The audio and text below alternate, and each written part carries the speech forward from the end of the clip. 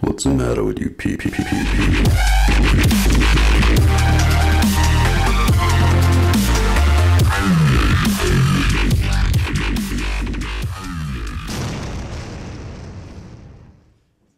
Hey, what's up? I'm back. it's like I was just up here. Wow. Wow. Well, um, I would just like to um, start off by just saying this is a cool series. Fear is, is a fun subject to talk about. You could turn me down a little bit or something's weird. I don't know what it is. Um, I, I think it's so cool to talk about fear because um, it's everywhere, it's in our lives. Uh, anybody experienced fear this last week? A few people experienced fear. Everybody else is perfect. This is great. It's going to go well today. Uh, I, I just notice it. It's all around us. It's all the time. And uh, I think for, for us here in this church, like, we are a missile that is going after the king, after God. We, we're a missile. And anything that, that people fear, like, we're, bring it, bring us to it. We're ready for it. And so, um, I want to read a quote that's that's there. You can turn me up a little bit now. I don't know. I'm I'm just behind these speakers, but um, it says this: When men don't fear God, they give themselves to evil. Ray Comfort, good old Ray Comfort. When men don't fear God, they give themselves to evil. I, I got this awesome story. How many of you guys have watched the movie M- Moby Dick movie? Anybody? Wow, that's a few people. Okay, it's based on this, this boat called the Essex. And the Essex was a ship, a whaling ship that went out um, because whaling was depleted. They had to go pretty far away. And it got hit by a, a sperm whale. And it, it was a pretty shady boat to begin with, so it started to sink. And these guys had, while the boat was sinking, a choice to make. Are they going to go to this, this place called. Uh, Marquess or something like that, or they they could go, which was like 1,200 miles, or they could go 3,000 miles to this other destination. Well, they didn't want to go 1,200 miles because there could be cannibals on the island. So they went 3,000 miles. I mean, they attempted 3,000 miles because of fear of cannibals, not their own personal death. And so here's a group of guys, their ship sinks, they're in these little whaling boats and they're out and they get some guys ended up dying they um, it's a crazy story but what's, what ends up happening is this one boat ends up getting separated from the rest. And these guys end up drawing lots to see who they're going to eat and they end up eating two guys on the ship. So what they feared ultimately became what they became. They became cannibals. And these guys survived and um, and, and lived on to tell this, this tale. And I, I, I just think of how ridiculous our fears can be. Our fears can tell us what to do and how to live. Anybody else in with me on that? Yeah. And so I have a, a quote for you. Here's the quote it says, Whatever you fear is God. Look at your neighbor. Whatever you fear is God. Whatever you fear is God. It's just the truth. Whatever you fear, it speaks to you. It, it, it, tells you what to do. Um, I think uh, I, I think what's so hard about the subject I'm about to talk to you about is that it's very rare to hear in the church. Not only that, it's a foundation of who we are. Not only that, um, fear, the, the subject that I'm going to talk to you about, I think is something that first makes us go, What? And, and, and I guess what I want to talk to you guys about is the fear of God today. The fear of God. In fact, I sat with so many older men that have read the Bible. I've sat with all sorts of people. I sit down, I'm like, I'm doing the fear of God. I need you to give me some thoughts. And I've had everything thrown at me like, it's the reverence of God. Have you heard this? I think they're right. Have you ever been in reverence of God where you're like, you're the you're the kind of the one that needs to catch up to who God is. I mean, it's the but it's just the reverence. It's He's Father. He's awesome. But then, how about this? It's not fear. It's awe of God.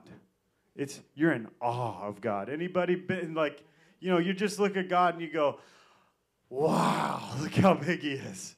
Look how awesome He is. Um, but I, I, want to tell you today that I will not preach that. And I know that that's what a lot of people believe, and they'll preach that the fear of God is just awe and reverence. But the truth is, in the Bible, it's not. The truth is, people get freaked out by God. And the fear of God actually means the fear of God. Is that shocking? I, I really dove into this, but I, I want to start off with Proverbs 1 7. And if you believe it's just the reverence and the awe, then it's a totally different thing that we're reading here. But it says this Fear of the Lord is the foundation of true knowledge. How about this? The beginning of wisdom. That's what one version says. But fools despise wisdom and discipline. Fear of God is the beginning, it's the foundation of wisdom, it's the foundation of everything. And so, okay, if it's that important, why do we not talk about it?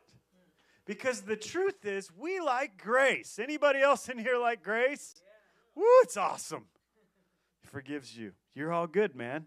Now you can go and have six other wives. He doesn't care. He'll forgive you.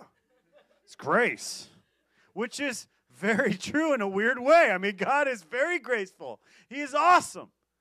But there's more to it than that. It's not just a bunch of fluff. It's not just a bu- oh, I'm just in love. Everything's just great. I mean, my life is falling apart. I'll just be honest with you. Last night, I, I preached this whole message. I get home, 11:30 at night. I get a phone call from the sheriff's department. And I'm not going to tell you what, what family this is, and please don't ask me, but I got called because a man was dead, and someone that went to our church showed up at their, at their house to go home, and their, their, their, their husband was dead in the car, and they had to do CPR on a man that was dead, that was their, their, their family. And I pulled up, and he's on the ground there, and I talked to the family, and they're just in shock. And I just think, okay, the fear of God. What do you think this man is feeling right now? It's over. It's done. Like you think it's awe. Oh, it's awe and reverence. I think it's, oh, shoot. I got my life, and he's a perfect God that can't wink at sin. I mean, if God could wink at sin, he wouldn't be perfect. But he can't wink at sin. He doesn't wink at sin. He's just perfect. And so, this man gets to experience God. And I think I think for us, fear of God is so key. When I was a, when I was younger, um, going to Bible college, I, I I just had a hard time in school just sitting and listening. And so I the only way I could do it was to dream about kayaking and I'd go kayaking during, you know, two or three times a week and risk my life just so I could feel like a human. And um, my friend was a whitewater. Uh, he was a professional kayaker, and he dropped off waterfalls. His name Josh Bechtel, and he came over, and he's an amazing guy. Twitch videos, he's in almost every one of them, and they're from the Northwest. And and uh, anyways, he, I had a chance to become a professional whitewater kayaker, and they invited me to this Arkansas River in the middle of nowhere, and. Uh, I took a left instead of a right, so I ended up showing up four hours late because I had to turn around and come back at two hours the wrong direction in Colorado. You don't even know, you know, it's just nowhere there. And so I come back, and it's just getting dark, and the river's in flood stage, and the, these guys all have Tiva vans. They're all sponsored, and they get out, and they're like, hey, oh, shoot, we're just loading up. And they say, you want to go? And I wanted to prove myself to them because I'd rather be a professional kayaker than a pastor. And so... Um, it just sounded better. And so I said, I want to go. I want to do this. I want to, and they're like, sweet, man, we'll do it again. And, and so I get in my kayak, and, they, and this section's called numbers because there's so many rapids. They're just one, two, three, four. And so I get in the kayak, and the guy said, Don't hit number four. It'll kill you. It's really bad right now. And the river's black, and there's stuff floating down it. So I get in, I'm doing awesome. I'm doing, I'm showing these guys this is my next career. And then I make it around number four, and then it surfs me back in, and I got tumbled in a washing machine. And, and I'm in this washing machine, and they, they tell you never pull out of a kayak eh, but I couldn't get air. I couldn't breathe, and I thought this is how it's going to end. And I thought my eh, like I don't know how you can think so much in a short period of time. I thought of my kids and I thought of my family, and I thought there's no way I'm going to drown in this thing. But I could not get up. And, and the, I did the one thing that, that you should never do, but I felt like there's a voice in my head saying, You need to pull out of this kayak. But it's a giant flotation device, so it's a really dumb choice. But I pulled out of the kayak and I, I felt another voice kind of say, Just make yourself big. I don't even, I'm not even that smart. I just, I knew what to do. I made myself big, and somehow it blew me out. And then I was going down this, this river in flood stage, freezing cold. And I'm hitting my legs on rocks, and there's a log jam, and you're not supposed to go towards log jams, but I didn't have a choice. And I got shoved up on a log jam, and then I climbed up on the log jam, and I'm bleeding, and I'm freezing. And I look over, and they're terrified. I'm terrified, and I felt like God started speaking to me at that moment. Is this what you want to do with your life? Is this who you are? Is this who you want to be? I'm standing there, blood coming down. They're like, You got to jump back in. And I'm like, Get the fire department. They're like, We're in Colorado. There is no fire department three hours from any town. You got to jump back in. And I just sat there and I just said, God, save me. I'm terrified. I'm terrified that you can take me right now. I'm terrified that this is how my life could end. You know, that, that was kind of a moment, and I drove home for a couple of hours just sitting there thanking God um, with my leg. I had a big hole in my leg, and I, I, I feared God. I want to say this. When you're reading this Bible, you'll notice that men all over the place feared God like crazy. And I also want to say this before we dive into this thing fully is you can't pair fear without love. We talked about last week. Fear and love go together. It's not just the fear of God, but the fear of God leads into the love of God. But without the fear of God, you have something that's missing. And and uh, and so I got some uh, four men that feared God, and I just picked some random stories. Uh, there's every one, every one of them. You have this wild a situation. But let me tell you the first one Elijah.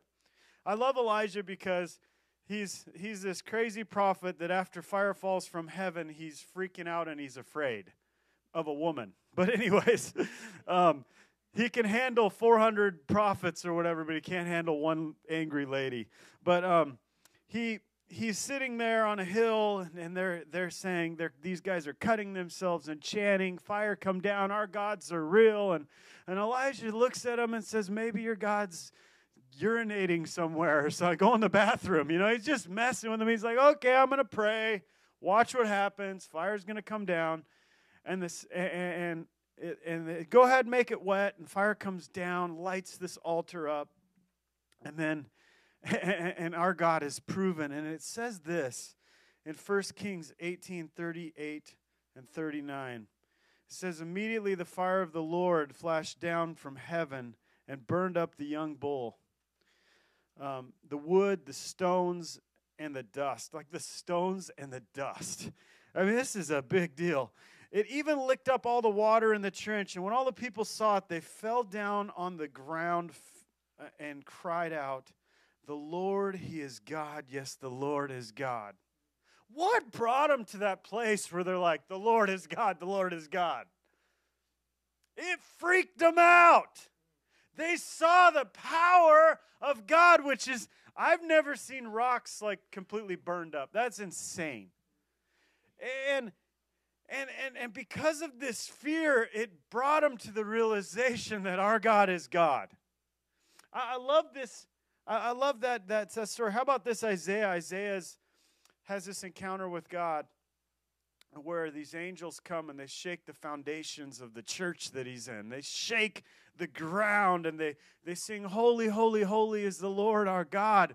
And Isaiah is not like, oh, awe and reverence. He's freaking out and he actually says, Oh my gosh, I am doomed. I'm a mess. I'm a loser before this amazing God. And, and, and then this smoke comes, and then an angel grabs a coal and he says, I'm a liar. And an angel grabs a coal and touches it to his lips. And this Fear of God turns into the awe and reverence of God. Because the coal is the forgiveness of his life and the purification of his life. And, and then Isaiah gets to say, Hey, I met God face to face, and yet he didn't kill me. In fact, he's wonderful. It goes on, Isaiah 8:13 says this. Make the Lord of heaven's armies holy in your life. He is the only one you should fear. He is the only he is the one um, who you should make who should make you tremble. Who else? Uh, trembling kind of sounds like you're freaked out. He's the only one that should make you fear or anything. Because he's so wonderful and he's so big and he's so awesome. How about this? The disciples. It says uh, Luke 8 25. Jesus calms the storm and just like boom, storm just goes bam, it's calm waters. And it says this Then they asked him, Where, where is your faith? The disciples were terrified and amazed. Who is this man? They asked each other. When he gives a command, even the wind and waves obey him. You know what I mean? It's like that moment when you realize God is actually God. You know what I'm talking about? The beginning and the end. He was the first, He was here before us, and He will be here at the end. He is everything, He created everything. He, he is God. How, how about this? Um, how about this? Luke uh, 23 39. Jesus is hanging on the cross, which says a lot more about us, a lot about us as well as about God, but it says how messed up we are. That God would have to send Jesus to die on a cross. Like, just think about the, the perfect, holy, amazing God of the universe, and he has to die on the cross for you. Like it, it says uh, how amazing his love is, but it also says, Are you going to stand before God and be like, Hey, I'm good, man? When Jesus had to die on the cross for your life because of the things that you did? And and Jesus is up on the cross and these two criminals are having a conversation. Check this out. It says one of the criminals hanging beside him scoffed so you're the Messiah, are you? Prove it by saving yourself and us too while you're you're at it. That's awesome. Like it, it might work out actually for him. But the other criminal protested, Don't you fear God even when you have been sentenced to die? We deserve to die for our crimes, but this man wasn't done uh, this man hasn't done anything wrong. Then he said, Jesus, remember me when you come into your kingdom. And Jesus replied, I assure you, today you will be with me in paradise. Isn't it weird that fear is even mentioned on the cross and the criminal's hanging there going, dude, we're guilty. And he's not. Like, that's just amazing on its own. And he says, But hey, don't you even fear God when you're guilty like this and the lights are out and all of a sudden it's just you and the dumb things that you've done? I, I'll tell you what, my parents, my parents are awesome. I love my parents. But did you know I didn't do some dumb things because they had consequences for those things? I mean, I, I, would love to have done them. I would have loved to. But the consequence, I feared my dad. I feared what would happen. Guess what? My dad loves me.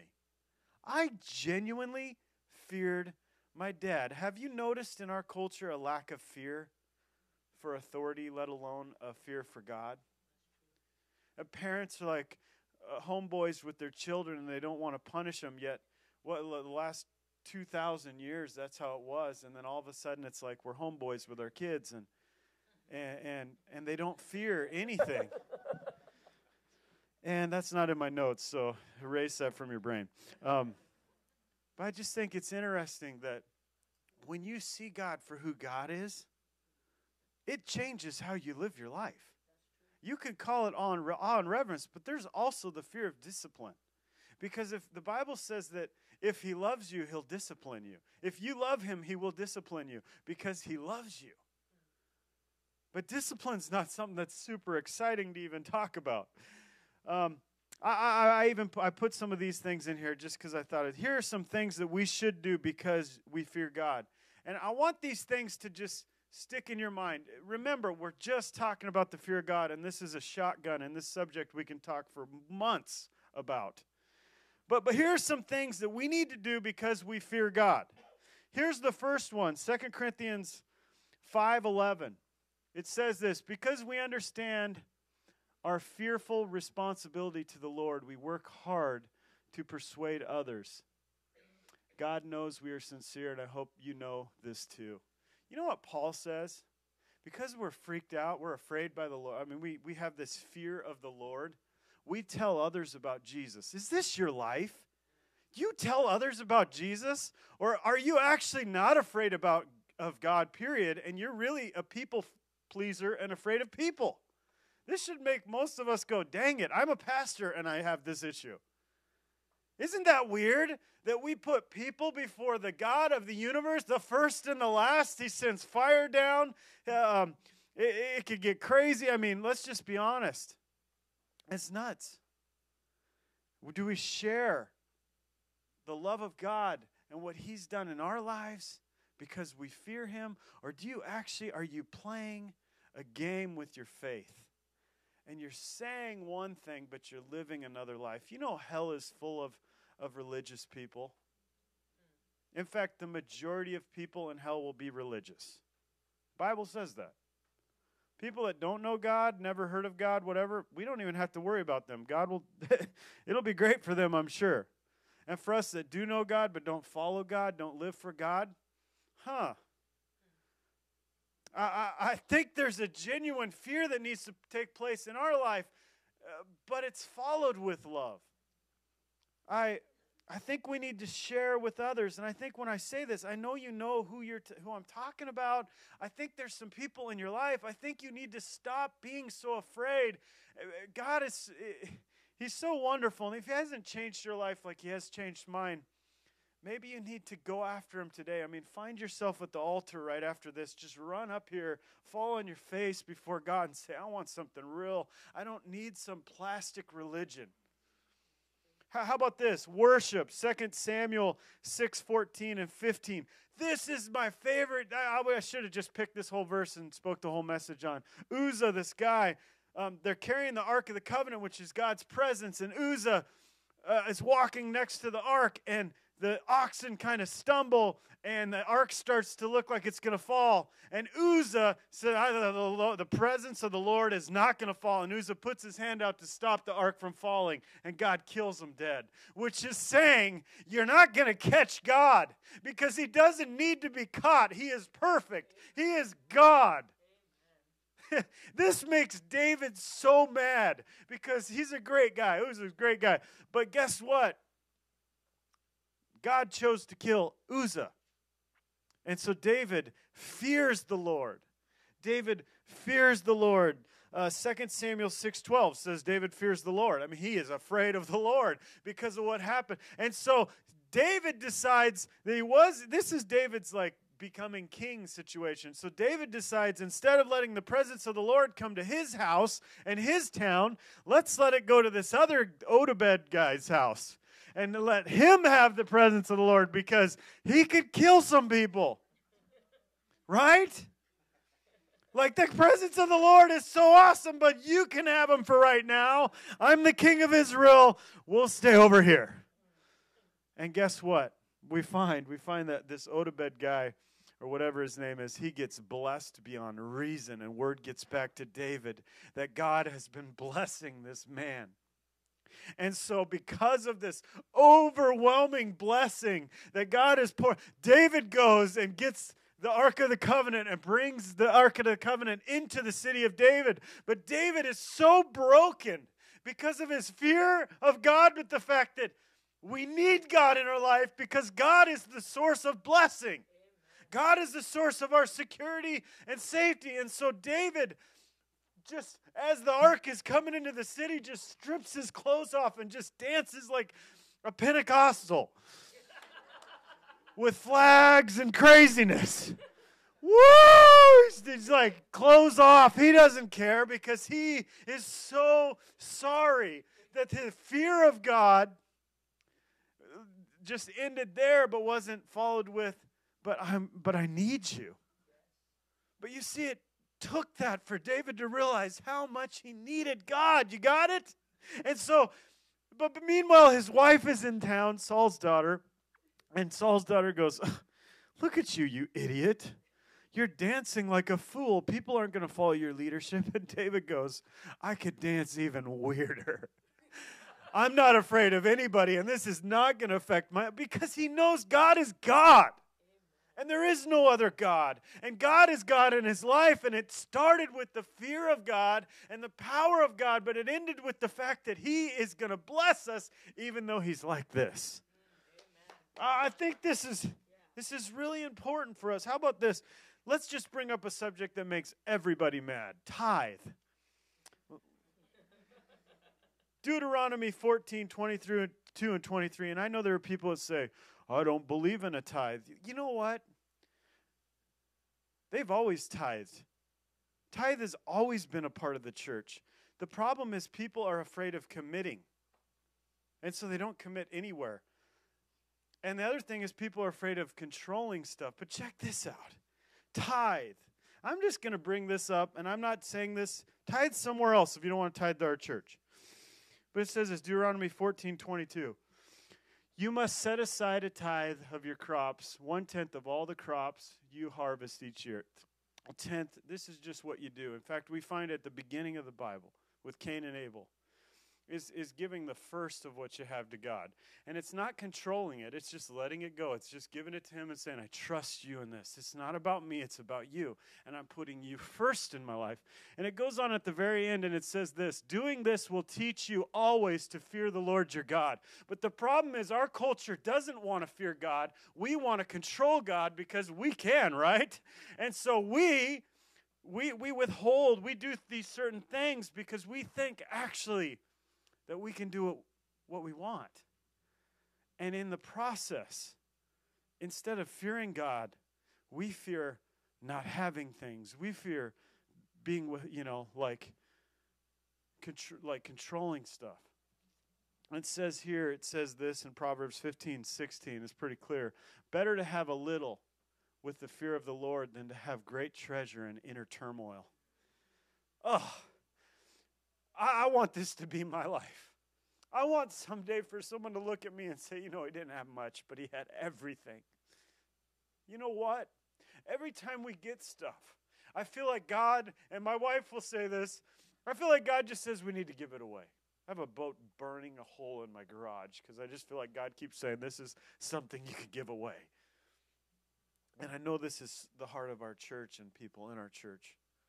And uh, I, love this. Is better to have the fear of the Lord and little than to have the responsibility of having a lot and then saying, I'm going to hold it for myself and be in inner turmoil, knowing that God has made you, like what my grandpa would say Kellogg's are good at making money, but it's because we give it away and we build the kingdom. But to have inner turmoil to say, but I'm holding it for myself, and God says, I'm the one that gave you that blessing. And the day that your last breath happens and you're laying in the driveway, and you're having a conversation with God, God's sitting there going, Really? Really? But it's hard when you don't see God as God.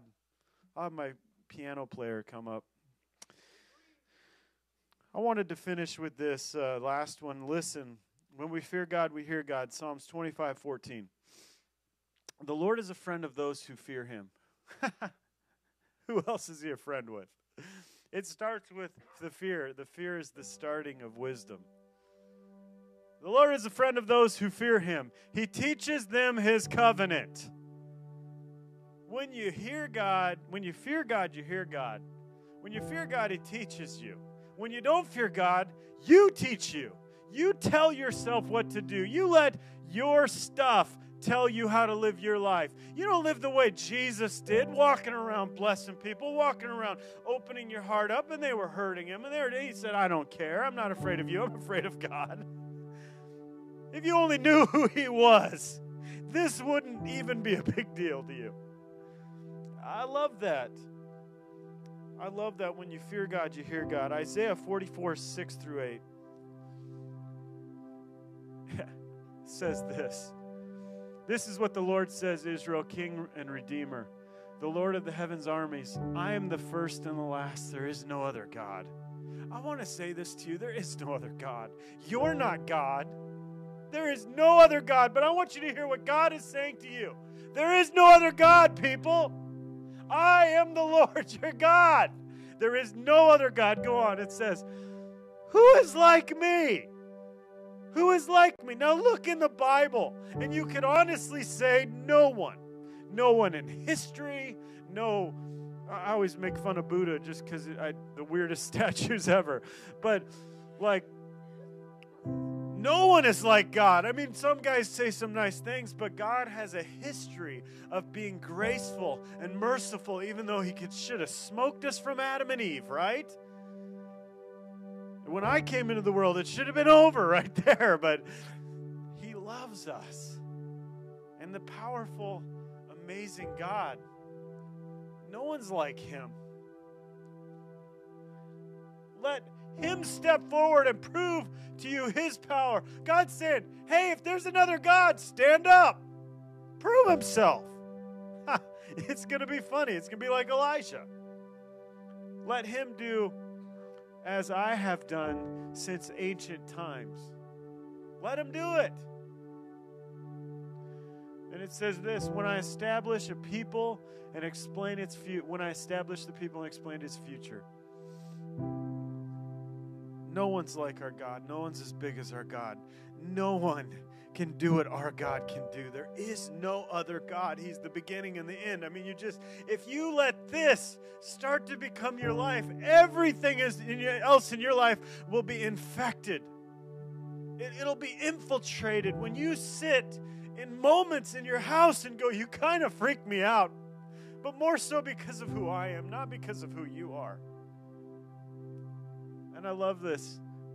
After saying how wonderful is, he says this Do not tremble, do not be afraid. Did I not proclaim my purposes for you long ago? Are you my witnesses? Is there any other God? No, there is no other rock, not one. You know what God says? When you get the vastness of who I am, you're going to go, Wah! And then God says, Don't be afraid. If you really did know me, you wouldn't be afraid. At first, you might, but then you're going to want me in your house, and you're going to want me in your job, and you're going to want me in your finances, and you're going to want me in your parenting skills, and you're going to want me in your friendships, and you're just going to want me even when no one's around. You're going to want me. I mean, this is just who I am, but it starts with that's who you are. Oh, this is who you are. It's fear and love. It goes together. I have a, I have an example I want to show you. Uh, it's B-roll these little girls said they wanted to play soccer against their parents. And so I actually asked one of the parents, I said, Are we going to let the little guys win? And the mom goes, No. Really? Like we can just unleash on them? My wife said, Don't share that, but I'm going to share it. I think, think it's awesome. These little girls got together, they're all huddled up, like, Yay, we're going to beat the parents. It's going to be so cool. But here's the problem us fat old parents, not everyone's fat on this, but we're not as athletic as these kids, I'll tell you that. The problem is we're big. Size matters. We destroyed these kids. They started off like, oh, you guys are going to end by the end, they're like. And I think we built them up. Don't worry, we let them sc- score a few goals because everybody gets a trophy. But you know what these kids learn? To fear us. Not in a bad way. We love them. No one loves them more than we do. No one loves you more than God does. But when you want to pair your, oh God, I got my finances. Oh God, I got my family. I got everything. We got it all. And then God sits there like, uh, you want to. Oh, I guess another God is standing up to prove himself. God steps in with discipline and He wakes you up. I'll tell you, last night was a wake up call, and I'm sorry for going to the lake, but I want to say this. If you're here and you struggle with an alcohol addiction, stop. You know how hard it is to sit and look in a kid's eyes who tried to pump the chest of a dead dad while puke is everywhere? And he's sitting there going, Why? What did I do? And they'll look in this kid and say, You know, you matter. The way your dad lived isn't exactly the truth of how amazing you are. If you're my son, I'd be so happy for you to be my son, but I'm sorry your dad treated you like this. You're not worth that. You're worth this. If you just knew. I see a man who ran from his problems and never solved them and found alcohol as a temporary solution that ultimately was to his demise. And do you know the parents here? Some parents sit there and go, I think I'm having an affair on somebody. And we, we don't talk about this at church a lot, but people will have an affair on their wife. You know how awful it is when you have to get the two together and the little kids are sitting there like, Dad chose somebody else. You see, God has a plan, but it's because He loves you.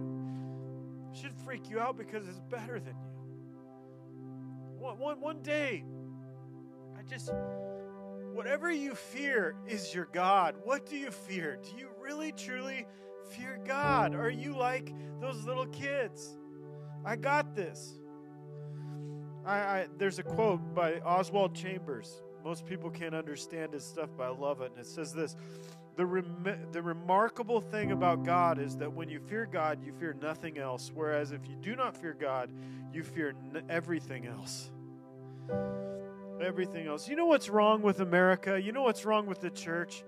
No one has a tattoo on their arm that says any fear God verses. They're all Jesus died for me. It's grace, it's love. But man, it starts with the fear of God. Your marriage needs the fear of God. Everything in your life needs the fear of God. I'm just going to pray. By the way, Benjamin Franklin says, Fear God, and your enemies will fear you. Father, we thank you. How big you are. I, I, I can stand on this stage and I can't tell you, I can't, can't put out there how many amazing moments in my life where I just fall on my knees and I think you're that wonderful. And how many moments in my life I've fallen down going, I'm a fool before you. I'm doomed. There's nothing that can happen with these bones. And then you grab me up and say, It starts here, Daniel. You need me. Thank you, God. Thank you, God, that your fear, that you're so big that in fear, God, you don't hate us, you love us, and you have a history and no one else in this world has the history like you. So, God, right now, I just pray. I just pray someone's heart falls before you right now, God. I pray someone reconsider some things in their life right now. I pray, God, that we live the, the life that when we stand before you, you say, Well done, good and faithful servant. Not that's what you did with it.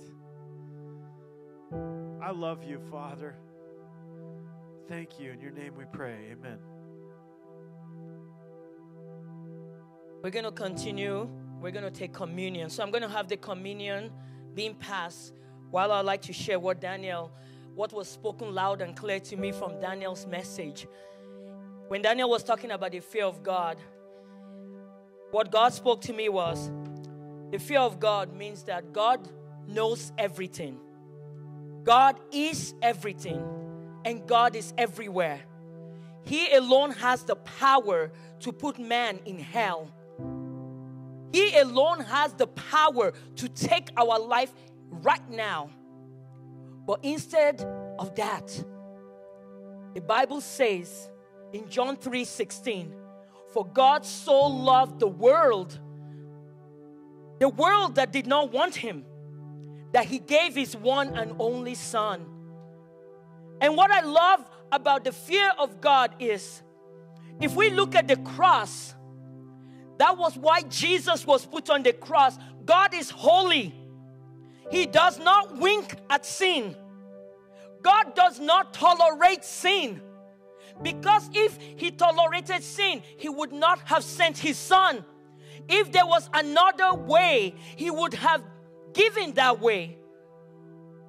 But God does not like sin. So he made a way.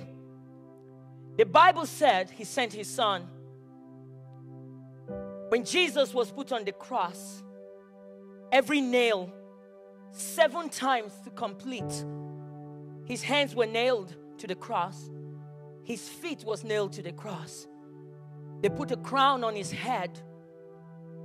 He was flogged.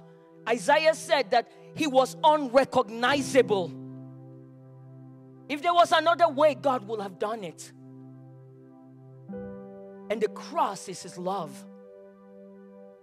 The cross is the way. We might say, oh no, we can't defeat sin. There's no excuse. He already defeated it. The devil does not have power over you because Jesus' spirit lives in us. I love what Daniel was saying that the fear of God is the beginning of all wisdom.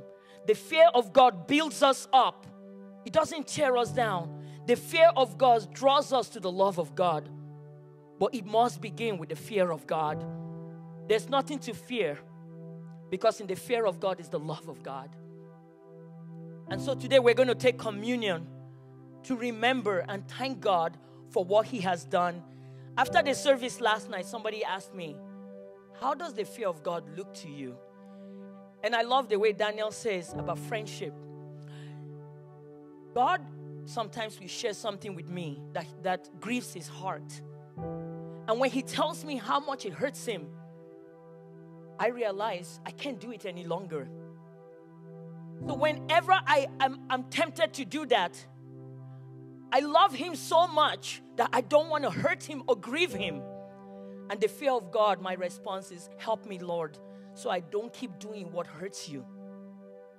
And I think that God is calling the church right now to be holy as He is holy. Let's stand up. On the night that Jesus Christ was with His disciples, they came together, He washed their feet. And He wanted to show them that He was giving them a new covenant. A covenant that means we don't we no longer need to live in sin. We no longer need to run from people that there's only one to fear is him, but in, in fearing him is his love. So in First Corinthians, he broke bread and he said in verse 24, and gave thanks to God for it. Then he broke it in pieces and said, This is my body, which is given for you. Do this to remember me. I am going to not just say, Take it. I'm going to ask you right now if God was sitting here right now, what would you tell him about what he did? And I'm going to give you time to thank him personally for saving our life. And I'm going to have you talk to God right now. What would you say to Jesus for what he has done for us? You can talk to him. He is here.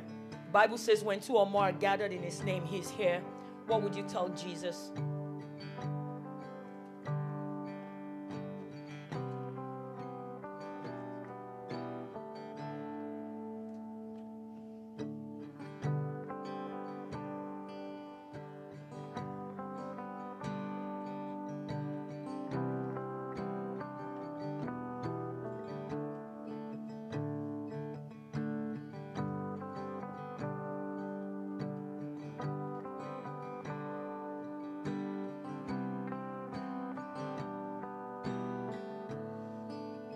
Thank you, Lord, that you made a way for us. Even though we didn't want you, even now, some of us, we live our lives without you. We claim that we're Christians, we claim that we know you, but sometimes we just walk away. Sometimes we have a form of godliness, but we deny the power of knowing you. We want to say thank you that you could have, in your wrath, just taking us out. But you chose to make a way where there was no way. You chose to give your son as a ransom for our sin.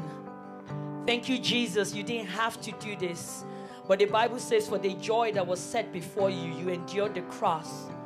And I think the joy is in this room right now. Many that will call on the name of Jesus, many that will know the Father. So as we take this bread together, Lord, we proclaim that, Lord, we love you. We don't deserve this, but we love you because you first loved us. And we say thank you in Jesus' name.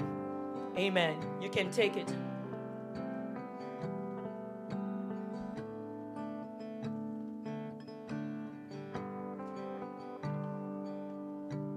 The next verse. In the same way, he took the cup of wine after supper, saying, This cup is the new covenant between God and his people, an agreement confirmed with my blood. Do this to remember as often as you drink it. What are we to remember?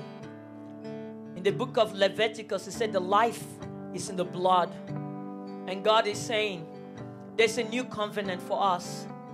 In the blood of His Son, we have a new life. There's now no condemnation to those who believe in Christ. The message today was not to condemn. The message was to invite you to an awesome, relentless love of Jesus Christ. And he's saying that as you do this, you remember what he did for us. So I'm going to ask you again to thank him personally. Tell him how grateful you are that he gave his life, that he shed his blood on the cross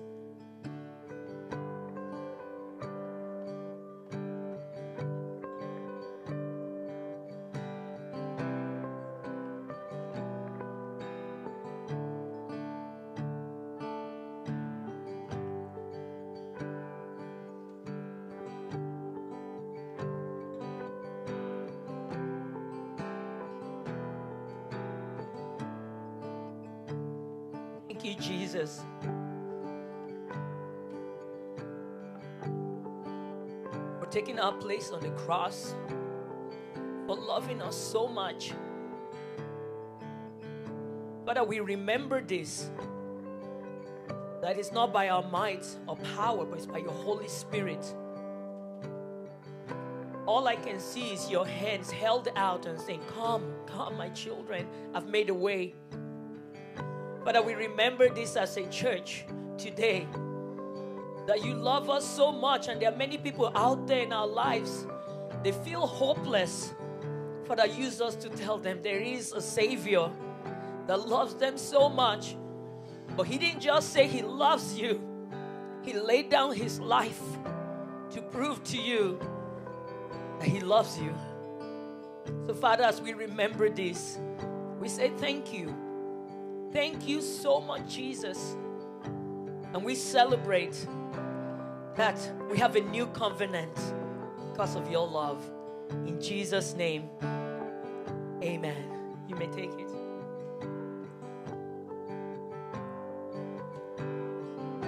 Every time we take communion, I don't know why I cry. But it's not a sad thing, it's actually a celebration it's actually a reminder to the enemy that you see, God is crazy in love with his children. And I want to say this to you we're not going out mourning, we are going to celebrate that Jesus has won the victory. And I just want to say before we enter worship, let's just go crazy. We're thanking God in a loud voice. Let's just begin to clap. Let's just begin to call on the name of Jesus